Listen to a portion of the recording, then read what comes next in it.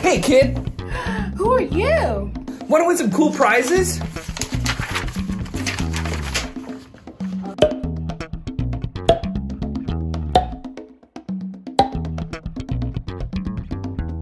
What do I have to do? All you gotta do is go to the Carrier Sekani Family Services Facebook page and submit your art in the comments.